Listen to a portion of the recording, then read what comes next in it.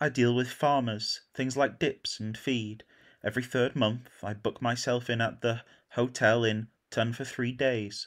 The boots carries my lean old leather case up to a single where I hang my hat, one beer, and then the dinner, at which I read the Shire Times from soup to stewed pears. Births, deaths, for sale, police court, motor spares.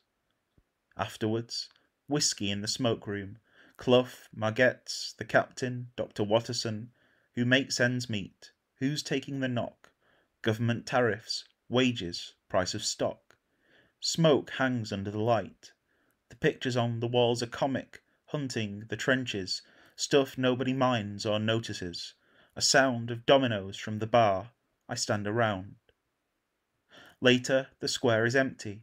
A big sky drains down the estuary like the bed of a golden river, and the customs house still has its office lit.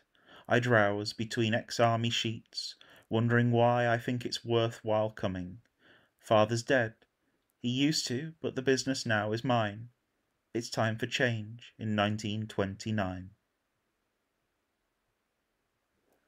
Seventy feet down, the sea explodes upwards, relapsing to slaver off landing stage steps. Running suds, rejoice! Rocks writhe back to sight, mussels, limpets, husband their tenacity in the freezing slither. Creatures, I cherish you! By day, sky builds, grape dark over the salt, unsown stirring fields, radio rubs its legs, telling me of elsewhere.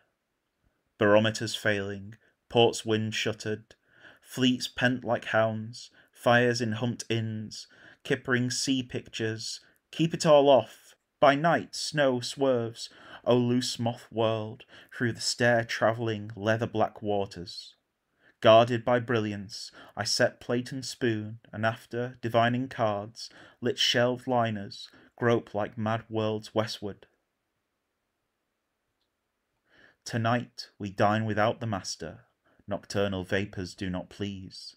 The port goes round so much the faster, topics are raised with no less ease. Which advowson looks the fairest? What the wood from Snape will fetch? Names for pudendum mulieris, why is Judas like Jack Ketch? The candle flames grow thin, then broaden. Our butler starveling piles the logs, and sets behind the screen a Jordan, quicker than going to the bogs. The wine heats temper and complexion, oath and forced assertions fly. On rheumy fevers, resurrection, regicide, and rabbit pie.